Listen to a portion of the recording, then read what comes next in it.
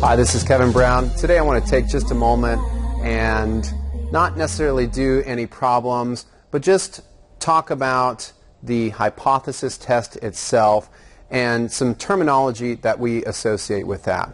So recall with a hypothesis test, we have a null hypothesis and we have an alternative hypothesis.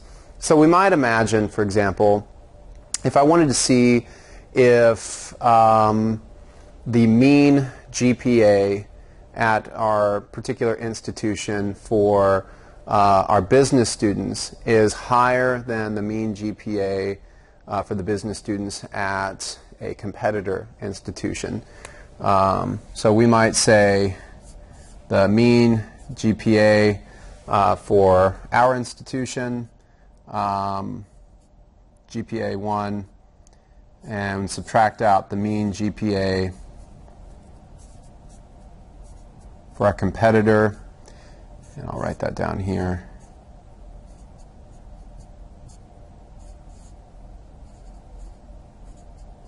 So recall that if I'm trying to demonstrate that we have a higher GPA, then that's going to be my alternative. So if ours is higher, then this would be, when we subtract our competitor, it would be a value greater than zero, which means that this would be equal or less than zero.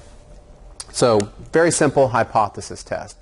But let's imagine that I gather my data and I don't have enough evidence to demonstrate my alternative hypothesis.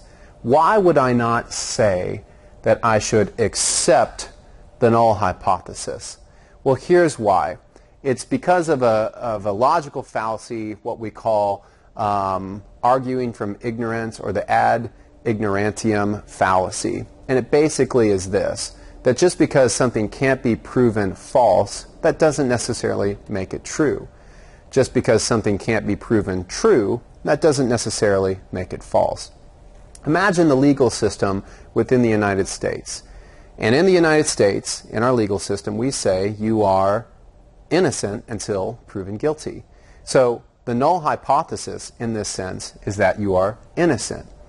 And then you go through a trial and evidence is presented by the defense and the prosecution and whatnot, and a jury weighs this up or a judge weighs this up. And at the end, if there is not enough evidence for the alternative, the guilt of a given individual, we don't necessarily say they're innocent. What do we say? We say they're not guilty. So it's another way of saying we don't have enough evidence to say they're guilty, so we just simply say they're not guilty. This is quite different from saying that they're innocent. It's the same way with this. I might not have enough evidence to say that our GPA is better than a competitor institution, but that doesn't necessarily mean that the null hypothesis is true.